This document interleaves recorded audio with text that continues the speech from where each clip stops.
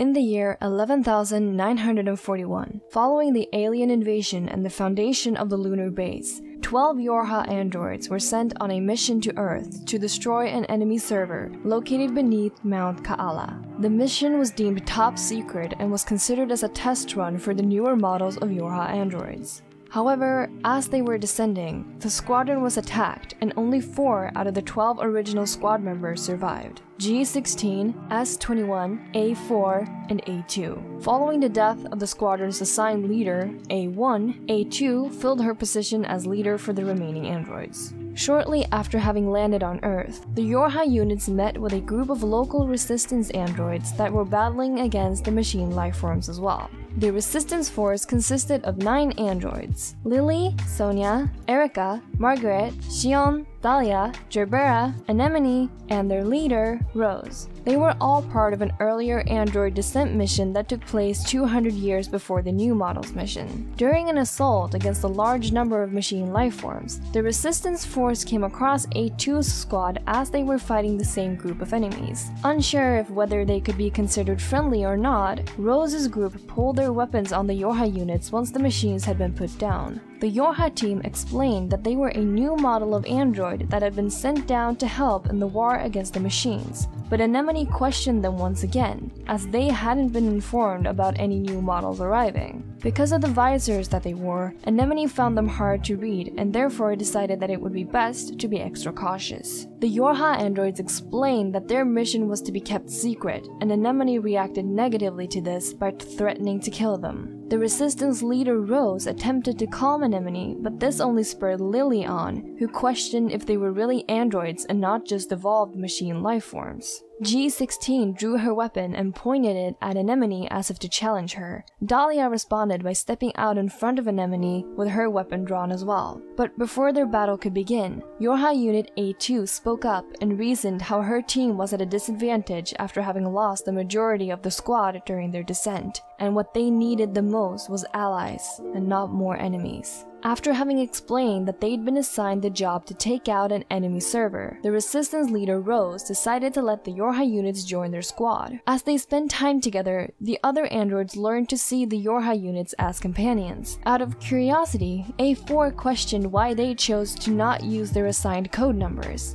Rose explained that they used name that she had assigned instead. She then suggested giving the Yorha units names as well, to which A2 replied saying that it would only be a waste to name them as of now, and that they should wait until after they had completed their mission instead. Rose agreed and said that she would think of a name until then. Although the Resistance group and the Yorha units managed to overall mix together quite well, Anemone was still unsure about putting her trust in the new units. Because the Resistance squad had been abandoned ever since their initial descent 200 years ago, she didn't want to trust any new androids just because they happened to say that they were allies. Lily noticed Anemone's distant attitude and decided to approach her. But just as Anemone was about to reassure her that she was fine, Lily suddenly screamed. Rose was the one who kicked into action first, screaming about how Lily had become infected. On instinct, they all drew their weapons and pointed them at Lily, who only continued screaming. She had been infected by a logic virus, which infected an android system to overwrite their data.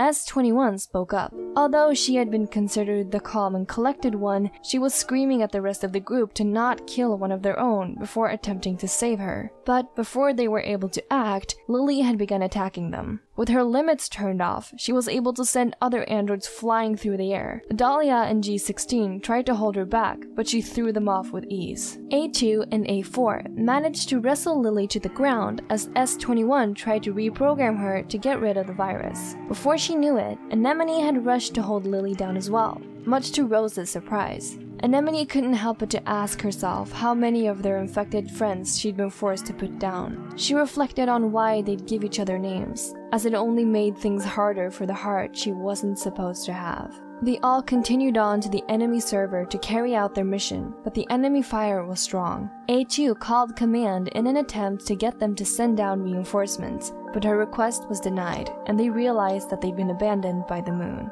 G16, Lily, Dahlia, and Marguerite all agreed to stay behind to hold the enemies off so that the others could proceed. At this point, they had all accepted that this was going to be their final mission. They managed to reach the elevator that would take them down to the server, but as S21 started to scowl at the elevator, Anemone couldn't help but to doubt the success of their plan. S21 told the rest of them to get in as she stayed behind to hack the terminal in order to gain access. However, Anemone suddenly decided to stay behind together with S21 instead of going with the others on the elevator. Rose looked concerned, but she allowed Anemone to stay behind with S21 as the doors shut. Anemone then looked at S21 only to see her eyes glow red as she thanked Anemone for staying behind with her. Anemone drew her weapon and sighed. She'd seen infected comrades before and couldn't leave her to die alone. She promised she would end S21's life once the elevator reached the enemy server. A huge explosion shook the halls and they both realized it meant the end of the squad members that had stayed behind. From inside the elevator, A2 cried that she had to go back and save G16 and S21. In an attempt to talk some sense into her,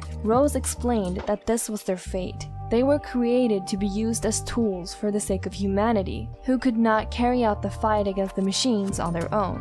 A2 retorted quickly by explaining that she wasn't afraid to fight for the sake of humanity, but she didn't want to have to suffer through her comrades dying.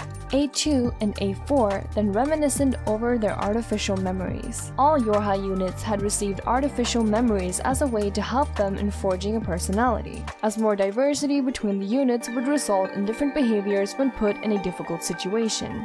Back up outside of the elevator, S21 removed her visor and reassured Anemone that she was happy to have met her. Anemone replied by telling her not to worry, as she would be joining them soon as well, which caused S21 to smile. When the elevator had reached its destination, Anemone shot S21 in the head before pressing her gun to her own temple with the intention of ending it all. But a voice inside stopped her. All of her squad members had fought to their very last breath and suffered, so who was she to try and end her life so conveniently? Set on proving the voice wrong, Anemone attempted to throw herself into the fry once again with weapons in both hands. Down in the server room, the remains of the squad met with two strange young girls. They had been watching over the androids, studying them and contemplating why they try so hard to fight even though they were made to be cast away for the sake of humanity. They then call out several machines to fight the androids. Daisy, Aster, and Erica were quickly taken out only to be brought back by the machines to fight on their side.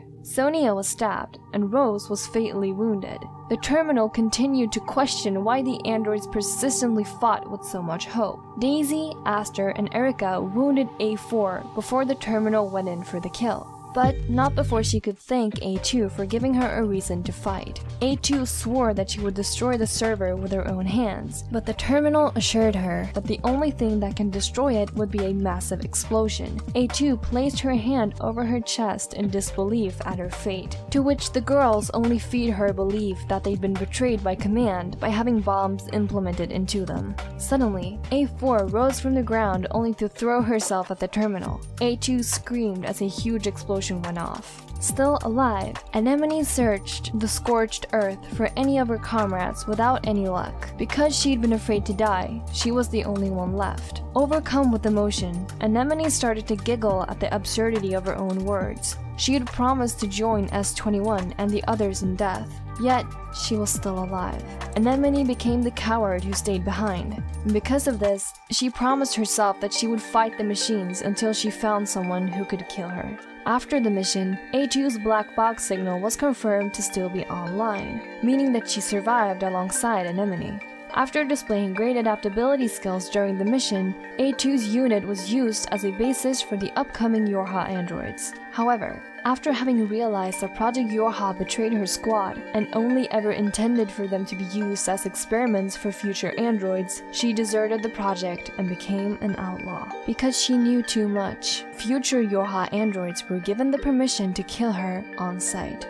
I hope you found this video interesting. The Yorha project has a lot of interesting backstory that I strongly encourage you to go check out for yourself. If you are still very very curious about all of this backstory, I recommend watching the stage play titled Yorha, which was written by Yoko Taro himself, as it is about the Pearl Harbor descent mission. Hopefully, I'll see you in another video some other day. Thank you so much for watching.